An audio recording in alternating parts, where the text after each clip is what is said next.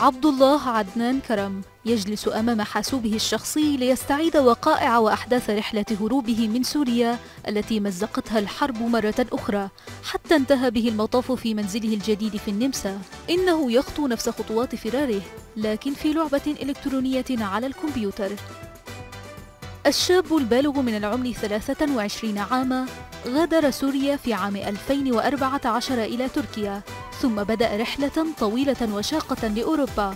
وبعد مرور عام من وصوله إلى النمسا التقى أحد مطوري الألعاب في سالزبورغ وبدأ معا العمل على القصة لتصبح لعبة إلكترونية.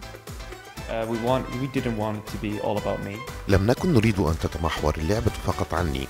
أردنا أن تكون لدى اللاعب خيارات أخرى في الرحلة. لأن هناك العديد من القصص الأخرى وما يمارسه اللاعب هو جزء من قصتي. فيمكننا أن نقول أن قصتي الشخصية أصبحت أكثر إثارة. كرم روى قصته لشركتين نمساويتين للألعاب الإلكترونية ساعدتاه على تطوير لعبته الإبداعية حيث يمكن للاعبين اختيار طرق مختلفة ومواجهة مصائر مختلفة.